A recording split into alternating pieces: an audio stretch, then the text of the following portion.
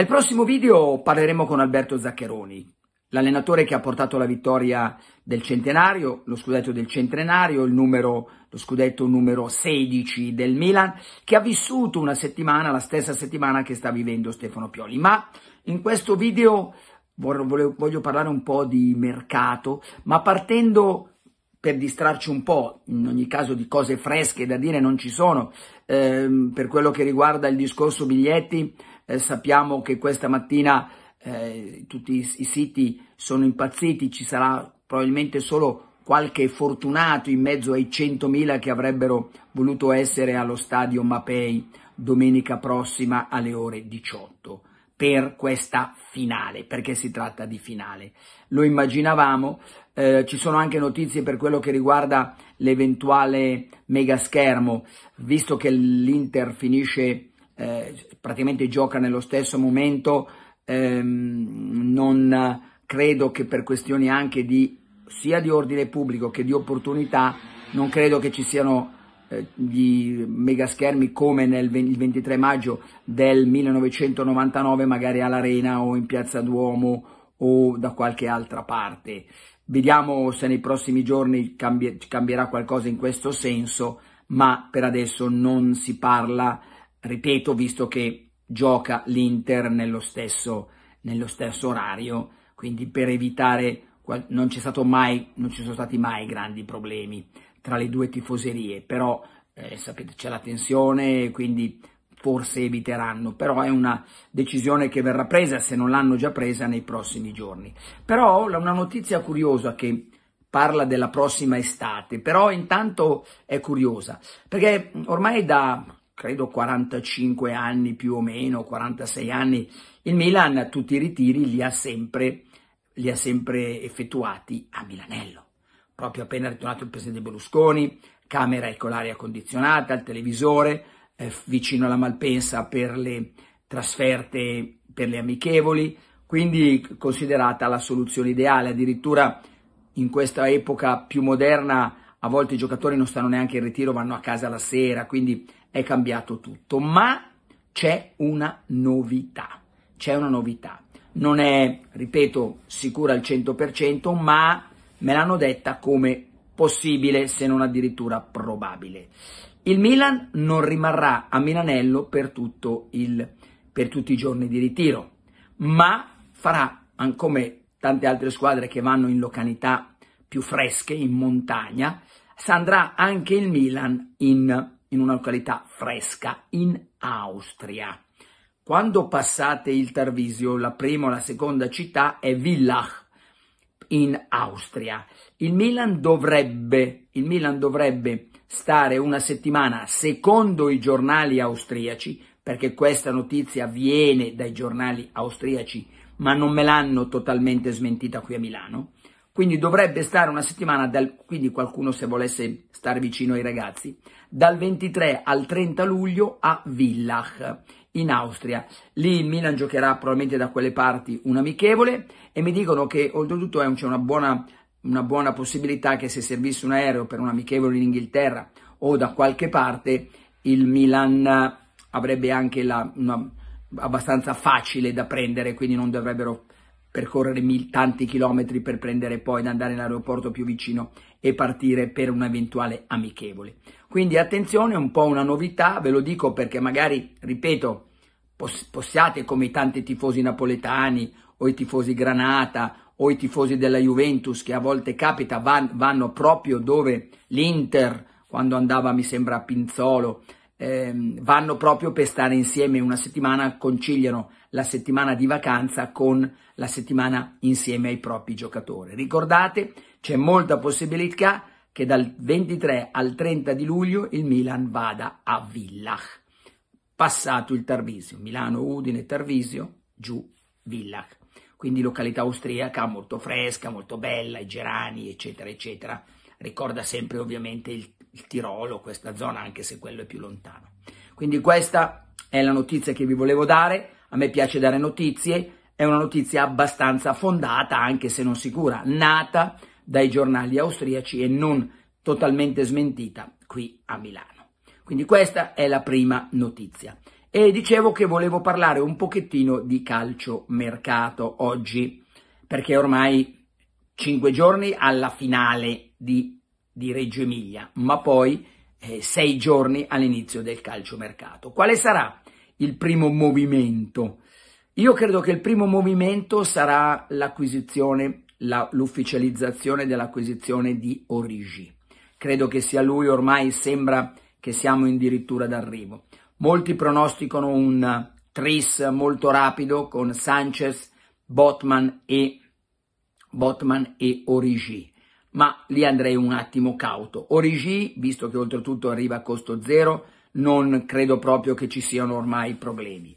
Poi vedremo, vedremo se il giocatore riuscirà a subito nelle prime amichevoli quando lo conosceremo meglio, perché anche lui deve assuefarsi, assuefarsi ehm, alla, ai 90 minuti, non gioca titolare da, da, da, da, tantissimo tempo. Quindi è un giocatore un po' non, non per i dirigenti che l'hanno acquistato, ma per noi da scoprire. Bisogna vedere poi la situazione Botman. Botman è un giocatore fondamentale per la sua altezza la sua fisicità. Costa, costa 25, ehm, 25-30 milioni di euro. Bisogna vedere poi il Milan come valuterà, visto che ha questo eh, Tomori e Calulu, che in questo momento sono una coppia formidabile.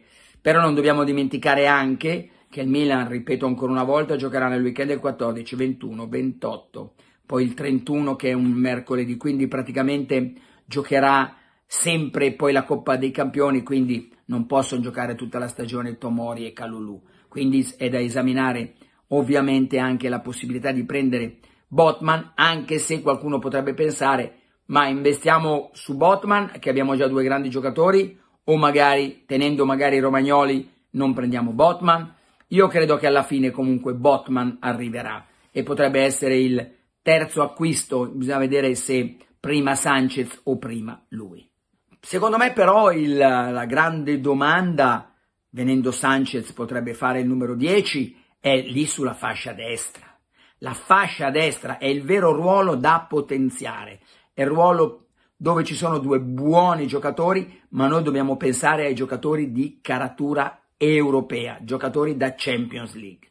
Confermeranno Messias magari cedendo Selemeker, quindi tenendo l'estro e cedendo un giocatore che poi anche avrà mercato e potrebbe portare una buona plusvalenza, giocatore anche di quantità, o terranno il giocatore di quantità magari inserendo i Berardi o il Deulofeo della situazione? Questa è la domanda chiave per quel ruolo, che è il ruolo più delicato dove il Milan deve certamente intervenire potenziando il reparto. Deulofeo è sufficiente? Beh, indubbiamente eh, se tu compri già, praticamente se tu prendi Botman, Sanchez e Origi, il mercato al 70% è finito, perché poi arriva Adli, arriva Pobega, hai Krunic, Tonali e Benasser. Non è che possano prendere 50 eh, centrocampisti, visto che giochiamo a due, massimo a tre, ma non è mai su- succede raramente. Sanchez può alternarsi a Dia se tu sei a posto.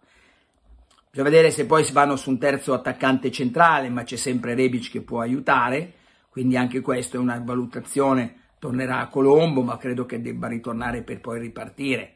E quindi anche questo punto va esaminato. È la fascia destra, è la fascia destra il ruolo più delicato, dove non si deve sbagliare, dove bisogna trovare un giocatore con un buon, con una buona, con un buon passo, con un buon piede, con una buona qualità, con un buono carisma, giocatore abituato a giocare a alti livelli. Potrebbe essere sempre Berardi, però il Milan non credo che investirà tantissimo su un ragazzo di 28 anni. Io tutto questo, tutto questo lo dico con Elliott alla proprietà. Io in questo momento, signori, vi garantisco, è Elliott che sta facendo il mercato, è Elliott che sta conducendo le trattative, è Elliott che sta lavorando in questo senso, anche per i rinnovi. E a questo proposito, nel prossimo video, appena ci sarà la notizia, vi daremo le ultime sulla decisione del Tribunale per quello che riguarda il caso Leao, perché credo che sia oggi il 17, oggi è il 17 e quindi oggi si radunava il TAS per dare finalmente quella che dovrebbe essere la sentenza definitiva e da lì in avanti si potrà, il Milan potrà capire quali offerte eventualmente fare alle AO, magari inserendo un aiuto dovesse lui pagare delle cifre, sarebbero cifre importanti, al, importanti allo Sporting di Lisbona, quindi una situazione da monitorare. Però in questo momento il mercato è il mercato di Elliott. Oggi c'è stato un comunicato, anzi una, un'intervista a, un, a, un'alta figura del, di Investcorp, però non ci sono grandi novità, ha detto che eh, stanno entrando anche loro nel mondo dello sport perché ritengono che sia un mondo, soprattutto per quello che riguarda le squadre europee, sottovalutato e quindi stanno entrando, ma eh, sono frasi interlocutorie. Io credo che la settimana prossima sia decisiva per capire se andare da una parte o dall'altra, anzi tre parti. È un bivio, prima uscita, seconda uscita, terza uscita. La prima uscita potrebbe essere il fatto che rimanga Elliott, la seconda uscita che si vada su Inverscorp, la terza uscita che si vada su, sul, uh, su Redbird. Vedremo, settimana prossima però eh, a bocce ferme, a pallone fermo e vediamo un po' quando, quando, quando il Milan poi tanto chiuderà i battenti per quello che riguarda il calcio giocato e, aprirà, e apriranno le porte ai procuratori Ricky Massara e Paolo Maldini per i rinnovi, per capire quale giocatore prendere, quale, quale punto, quale ruolo rafforzare, quale lacuna abbia ancora la squadra. Eh, fa tutto questo, se il Milan riuscisse a essere così bravo di vincere il campionato, è tutta un'altra cosa lavorare con lo scudetto sul petto, ma per lo scudetto sul petto bisogna giocare quei 90 minuti Oggi ha anche parlato Carnevali, Giovanni Carnevali, intervistato da Monica Colombo su Corriere della Sera. Non si è sbilanciato, tutti sanno che sia un buon amico di Marotta, ma lui sostiene di essere buon amico e non abbiamo dubbi di anche di Maldini eh, e poi anche di Massara che è stato suo giocatore come Allegri nel Pavia. Quindi profilo basso anche da parte di Giovanni Carnevale. Ovviamente c'è una grande pressione sul Sassuolo e ci sono i tifosi dell'Inter che si augurano che Scamacca e eh, Raspadori e Traoré e Berardi giochino una grande partita e in effetti sono tutti giocatori molto pericolosi e d'altra parte invece il tifoso del Milan si augura di trovare un Sassuolo certo impegnato ma senza magari grandi stimoli. A me quello che interessa non è la squadra avversaria, interessa che il Milan sia eh, giochi come nelle ultime partite, superi ostacoli importanti come è riuscito con la Lazio contro la Fiorentina, contro il Verona, contro l'Atalanta e dunque questa è la speranza eh, anzi è la certezza mia, visto che eh, il Milan in questo momento a livello di testa sta bene, non ha mai staccato, oggi riprendono gli allenamenti con la testa giusta, la testa che Stefano Pioli vuole che abbiano i suoi giocatori.